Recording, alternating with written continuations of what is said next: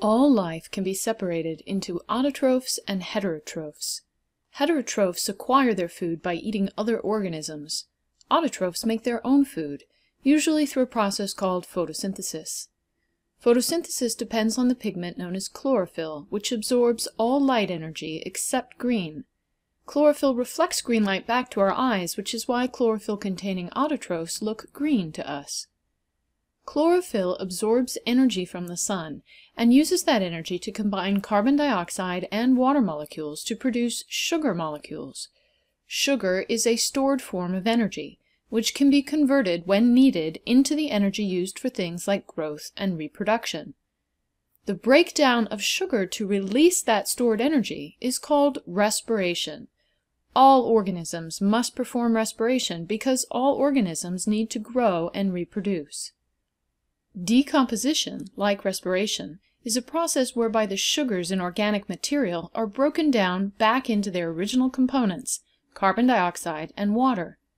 Decomposition is assisted by bacteria and other organisms that feed on dead or discarded organic material, such as fecal pellets, exoskeleton molts, and dead carcasses, all of which tend to accumulate as they sink to the bottom of the sea floor.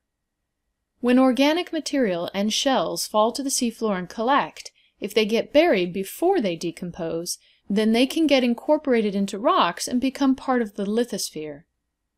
Through photosynthesis, respiration, decomposition, and rock formation and weathering, carbon dioxide and oxygen are exchanged and transferred between reservoirs, temporary storage areas for these gases. The primary reservoirs for the oxygen and carbon dioxide cycles are the biosphere, organic material stored in living organisms, the atmosphere, the oceans, and the lithosphere stored in rocks. In any given reservoir, carbon dioxide and oxygen are continually moving in and out based on what processes are at work. When carbon dioxide or oxygen is removed from a reservoir, we describe the location from which it has come or the process that has transported it a source, and the location to which it goes a sink. For example, photosynthesis removes carbon dioxide from the oceans and puts it into autotroph or heterotroph sugars, basically the living body. The reservoir it left, the source, is the oceans. The reservoir it travels to is the sink, in this case the marine organism itself, or the biosphere. Which of these processes produces carbon dioxide gas as a byproduct? Decomposition, respiration, rock weathering, which also includes fossil fuel burning on land, diffusion from the atmosphere, and volcanic outgassing.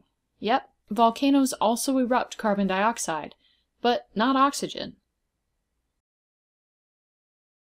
Meanwhile, processes that remove carbon dioxide include photosynthesis and sediment deposition and burial.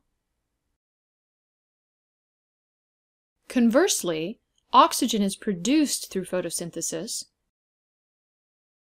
and removed through decomposition and respiration.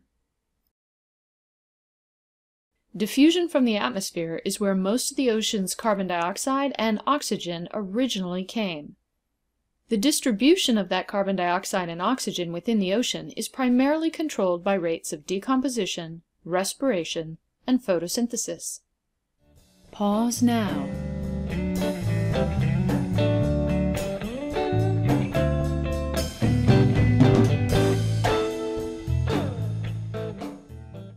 Can you pull together all these important processes that control carbon dioxide and oxygen distribution in the oceans and explain what we see in the actual distribution?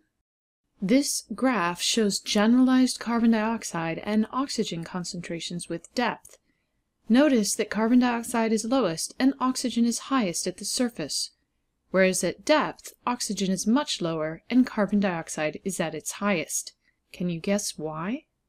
And at about 1,000 meters depth, oxygen reaches its minimum, referred to globally as the oxygen minimum layer. Piece together what you know and see if you can come up with a logical explanation for all of these variations.